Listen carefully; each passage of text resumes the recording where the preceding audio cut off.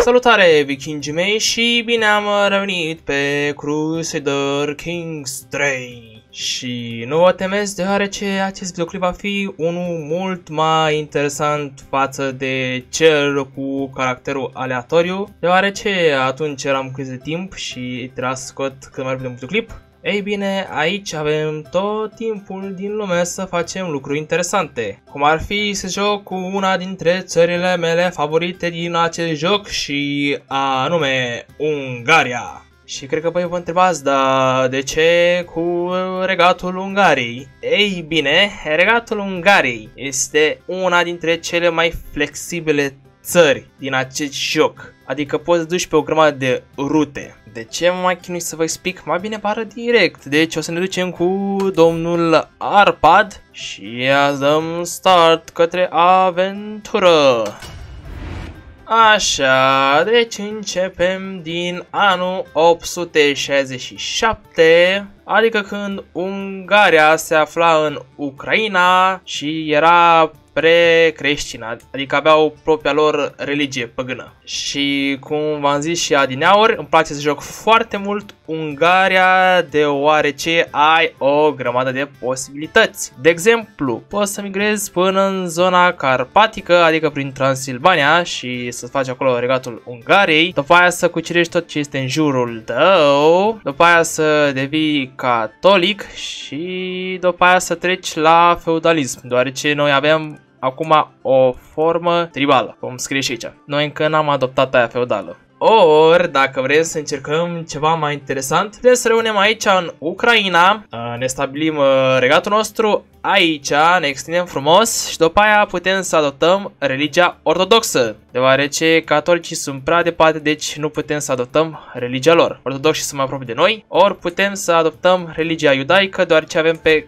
cazare lângă noi care sunt de religie, bineînțeles, iudaică, că tot am menționat de chestia asta. Deci ai foarte multe posibilități cu această țară. Și cred că voi vă întrebați, da, cum vom face acest lucru mai exact? Ei bine, vom ataca regatul bulgar, da, mai întâi pentru a face asta va trebui să luăm minunata decizie de a migra, așa, către Panonia și acum putem să ne batem cu ei numai cu o singură problemă. Vedeți? Ei au 2400 soldați, noi avem decât 1500. Dar nu-i problemă, deoarece dacă le declarăm război, alegem asta cu migrarea către Panonia, o să dăm uh, Declare War și uitați cine scrie aici, că primim oameni moca pentru război. Am declarat război și ia uite, ne-a făcut uh, rost cu oameni, deoarece este un eveniment special asta cu migrarea către Panonia, primim soldați în plus. Mi-a apărut hoarda de cavalerie și acum e timpul să invadăm Transilvania. Văd că vecinii se la profită de faptul că noi atacăm pe Bulgaria, așa că s-a decis să dea și un mic jaf. Că tot vorbeam de jaf, văd că au apărut și trupele bulgare, da, o să-i scoatem ușor la ce număr mic au. Hai că am încercuit trupele bulgare și acum a venit timpul să le scoatem. Stai că la nu mi-a ajuns, hai mai repede, hai mai repede, că cam ne luăm bătăiță. Stai așa. Acum i-am prins bine pe bulgari. Și te rog, dăm un scor mare. Perfect. Uh, mai trebuie să cucerim câteva fortărețe și eu zic că o să-i batem. Gata, am reușit să strângem un scor suficient de mare. Uh, ne ducem aici. Apăsăm pe asta să-și accepte și gata! Acum ne aflăm în regiunea Panonii și ce am avut noi în Ucraina a fost preluat de altcineva. Îmi place că aproape a scăpat cu totul de avarii din Transilvania și acum trebuie să văd ce fac cu aceste domenii deoarece am prea multe și va trebui să scap de ele. Adică le voi da rudelor mele, adică fiului meu care și el la urma lui are alți fii gata și cu problema domeniilor și acum va trebui să trecem la creștinism și de asemenea să trecem la feudalism. Și tot insist la faza cu creștinismul, deoarece ca să trec la feudalism am nevoie de o religie organizată și religia noastră nu este una organizată. Dacă adoptăm direct creștinismul cu fiel ortodox sau catolic, automat bifăm chestia asta de aici și trecem mult mai ușor la feudalism. Deoarece, ca să reformez religia mea păgână, ei bine, va trebui să controlez, nu mai țin minte, cel puțin 3 zone de astea a fi considerate sfinte, locuri sfinte. Și e destul de greu. Deci mai bine adoptăm altă religie. Faza cu convertirea nu e mare lucru, deoarece dacă dau aici, mă duc la alte religii, bifez asta și pot să aleg oricând catolicismul și să mă convertez la această religie. Numai că o singură problemă, dacă dau click pe asta, am un amalgam de religii în uh, regatul meu. Doar că Ungaria, pentru a scăpa de toate debuffurile când se convertește, are o decizie specială pentru așa ceva, în care dacă controlez toată regiunea Ungariei, adică ce controlez eu acum, plus ce mai este prin vest și nord, așa, după ce controlez toate chestiile alea și după aia iau decizia uh, respectivă, îmi convertește automat tot regatul la creștinism Plus că dacă tot iau decizia asta, automat uh, renunț la vechea cultură migratoare și cultura ungară se, zic așa, reformează, adică adoptă obiceiurile europene, sau bine zis din uh, regatele vest europene, dacă adopt catolicismul, sau obiceiurile bizantine dacă adopt uh, creștinismul ortodox. Așa că va trebui să trecem la o serie de cuceriri, ceea ce înseamnă că vom începe cu slovenii din estul Ungariei, unde le vom cuceri de fapt, nu, îi vom subjuga ca să luăm totul, așa. Și soldați, pregătiți-vă de război, mai întâi să le selectez o zonă unde să apară soldații. Ridicăm și acum mergem spre ei. Înțeles că trebuie să le dăm și puțină bătăiță la dușmani.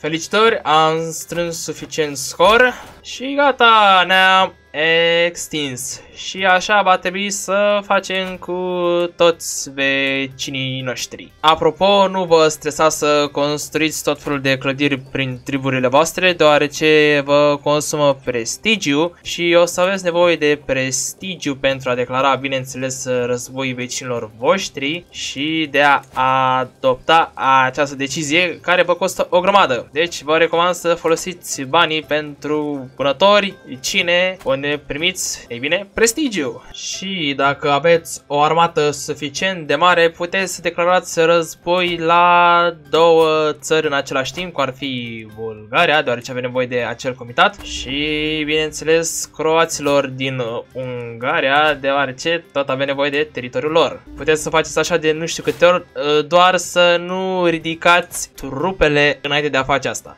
Perfect, Bulgaria a fost umiliți din nou de noi și acum să ne ocupăm de revolta locală. Înainte de a continua cu expansiunea noastră n-ar fi rău să dăm și niște jafuri prin Germania, că tot au o grămadă de bonus prin uh, forturile lor. Așa că în loc să apăsăm acest minunat buton, o să-l apăsăm pe acesta. Mi-a apărut armata de jefuitori și acum, ei bine, ne ducem spre orașele lor, așteptăm câteva zile și am făcut rost de bănuți. În timp ce jefuiți, o să vă apară din când în când acest eveniment. Mereu să luați varianta din mijloc, deoarece primiți bani și prestigiu, adică două lucruri importante pentru acest joc ce ați terminat de jefuit, vă întoarceți înapoi în țărișoara voastră și hei, v-ați scos cu bani și cu prestigiu din tot jaful ăsta. Hmm, cumva vecinii mei o duc destul de proști și n-au deloc armată? Perfect, asta înseamnă oportunitate. Și după o serie de războaie, în sfârșit controlăm toată regiunea Ungariei. Și dacă vă întrebați de ce nu v-am mai arătat cum mi-am bătut dușmanii, ei bine avea rost, deoarece uite-te la armata lor și uite-te la armata mea. Era și evident că o să distrug la ce număr de soldați am aici. Acum rămâne să fac rost de încă 1000 de prestigiu ca să ajung la 2000 și să pot face această decizie odată. Și după încă o serie de jafuri prin Germania, Ne-am întors cu o grămadă de chestii și acum avem 2000 prestigiu. Ceea ce înseamnă că putem să ne convertim la creștinism și o să-l aleg pe cel catolic deoarece avem foarte mulți în partea de vest. Ducem aici frumos, alegem asta și gata. Dăm puțin start și după cum se poate observa nu toate regiunile sunt catolice. Mai avem religia asta păgână ungurească. Și cum am zis, ca să scăpăm de problema asta, ne ducem aici frumos, promovăm uh, creștinismul. A, da, și uitați-vă puțin la hainele mele. Vedeți cum le-am așa, pe stil asiatic. Le ducem frumos aici, cum am mai zis. Dăm pe asta și gata. Acum avem haine vestice. Ne-am reformat cultura și Acum avem mai mulți creștini catolici. Dacă nu aș fi utilizat aceste moduri pentru estetică, normal ar fi trebuit să primesc acel trofeu, numai că nu m-am stresat cu acest lucru, deoarece deja l-am. Acum, singurele lucruri care ne-a rămas să le facem este să facem Marea Ungarie, adică să ne extindem și prin Croația. A, da, și să trecem la feudalism. Ne-a murit uh, regele Almos și acum ne jucăm cu Arpad Arpad, deoarece de ce nu? Și cum stă destul de prost cu prestigiu și nu putem să facem nici vânătoare, nici uh, mare masă, va trebui să facem ce știm noi mai bine și anume să ne jefuim vecinii pentru bani și prestigiu. Îmi place că după ce mi-am jefuit uh, vecinii, se poate observa aici, i-am lăsat fără armată și acum pot să le declar război fără niciun stres, deoarece n-au cum să mă oprească, doar că partea nașpa nu pot să le declar război deoarece nu sunt foarte cunoscut. De fapt, ba da, doar pentru comitatul ăsta. Le-aș vrea tot ducatul. E, nu mai contează, oricum peste 5 ani putem să atacăm iarăși, deci hai numai pentru acel uh, comitat că tot sunt uh, regele Ungarei, să ne punem și corona corectă. Așa, mult mai bine. Și datorită faptului că m-am convertit la catolicism, acum pot să fac alianță cu ducatele și regatele din Europa de Vest. După ceva timp am uh, reușit să strâng destul prestigiu ca să fac rost de teritoriile croate. Deci din nou va trebui să atacăm pe tine și să nu uităm și de dumneata. Adică ne ocupăm de două persoane în același timp. Și cum de-au armate slabe o să batem extrem de ușor. A, da, și în curând s-ar putea să avem un uh, regat al vlachilor. De exemplu, vedeți aici, nezatul Valahii. Ei bine, asta este condus de bolgari, uh, numai că se află într-un război pe care aproape îl pierd cu un uh, voievod sau mai de zis uh, duce Vlah, care în continuare nada de creștinism, mă băcăi cu Perun și acum rămâne de văzut dacă va reuși să devină regele Valahiei. Până atunci să ne întoarcem la al noastre și anume să asediem pe croați. Am terminat cu primul regat croat, să-i batem puțin această bătălie și gata, putem să închem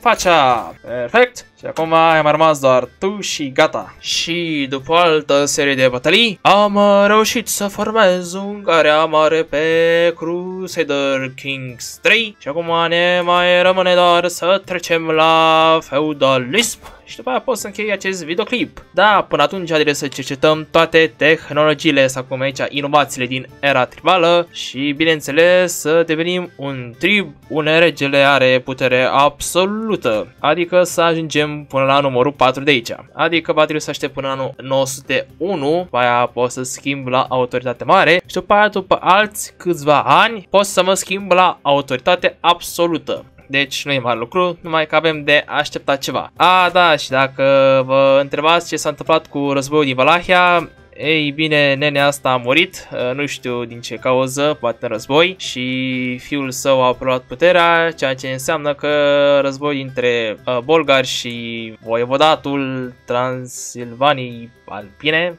presupun că așa s-ar numi în română, s-a anulat. Dar oricum tipul ăsta are o armată mai puternică puternică decât uh, regele său, deci poate să îndepleteze pe acest copil de la putere oricând. Că Tonan ce face, n-ar fi rost să jefuim puțin Constantinopolul, că toți sunt bizantini ocupați. Bun, doar dintr-un singur jaf am făcut rost de peste 100 de bunuți, acum hai repede acasă până nu-și dau seama ăștia că am jefuit. Până în anul 919 mai e ceva, deci da, hai că ne băgăm. De ce nu? N-ar fi rău să înființăm regatul Ierusalimului condus de regi maghiari. Aventură, strigați! Ura! Spre Ierusalim! Ok, hai cu bătălie cu multe persoane și mai bătălia pentru Ierusalim. Wow! Chiar am reușit să creez un univers în care Ungaria reușește să asedieze Ierusalimul. Și gata cu cruciada. Ia de cine este regele sau regina? Ehe, din dinastia mea. Oficial, Ungaria a reușit să creeze regatul Ierusalimului. Și acum mi-a apărut opțiunea dacă vreau să joc cu regatul Ierusalimului ori să joc în continuare cu Ungaria. Da, din păcate avem ceva treabă în regatul nostru, deci nu. Apropo, am reușit să ajung la forma de trib absolut și acum pentru a ajunge la formă feudală doar trebuie să avem toate inovațiile pentru era tribală și gata. Dar totuși între timp pot să fac un ordin sfânt. Și după aproximativ 100 de ani de așteptare, în sfârșit mi-a venit evenimentul în care putem să trecem la feudalism, dar mai întâi să vă arăt ce s-a mai întâmplat între timp. Um, da, după cum se poate observa, am reușit să formez Imperiul Ungar și stăpânesc cam tot ce era în jurul meu. De asemenea, am devenit cel mai bogat om din joc și am cea mai puternică armată, sau mai bine zis numeroasă, deoarece, după cum se poate observa, am destui soldați, chiar mai mult decât Imperiul Bizantin. Dar hai să nu mai pierdem vremea, să apăsăm pe minunata decizie și gata, am trecut la feudalism și mi-am pierdut jumătate din armată. Ei. Dar hei, măcar acum putem să construim castele. Și cu această ocazie pot să închid acest videoclip, eh, dar înainte de a face asta, următorul videoclip va fi tot cu Crusader Kings 3, numai că vreau să fac un regat viking în jurul Dunării, mai precis prin zona României. Dacă se uite cineva pe la finalul videoclipului și sper că va fi cineva care o să fac asta, vreau să-mi aleagă în ce oraș ar trebui să înființez acest regat viking. Aveți aici Călăraș, Brăila, Galați, Giurgiu, Târgoviște, nu e chiar lângă, dar e pe acolo aveți să alegeți. Așa că eu am fost Asurax. Salut!